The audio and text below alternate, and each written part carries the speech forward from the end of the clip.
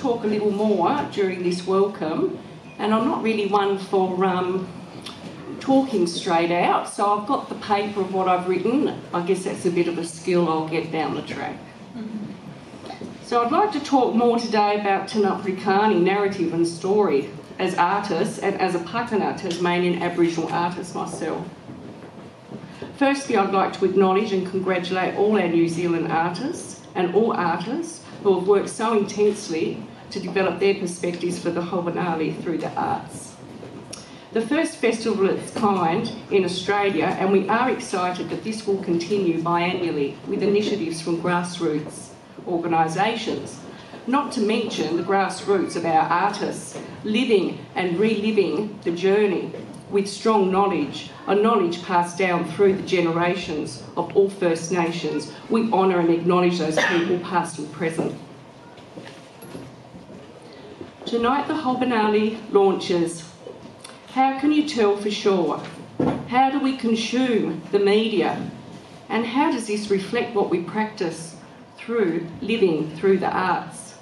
As a Pakana Tasmanian Aboriginal artist and emerging artist, I'm always intrigued continually, challenging my mind because of what is consumed within the westernised world. As a watercolour painter, I tell the story, our, core, our story, our story of our country that shares with us a spiritual landscape, challenged by the disruptions of time and power, but showing the strength of our identity through Palawakani language the dual naming of Lutruwita Milaydina country and a continual living history, community, culture, and connections. In a spiritual landscape, we live with a country that holds the knowledge and songs from our old people, our grassroots. The strength of our ancestors are within us, keeping us strong, just as our spirits that we follow and that are always here, just as we. I seem to visualise the world by peering through the many raindrops that form and shape by clinging to the leaves of lutati, the trees.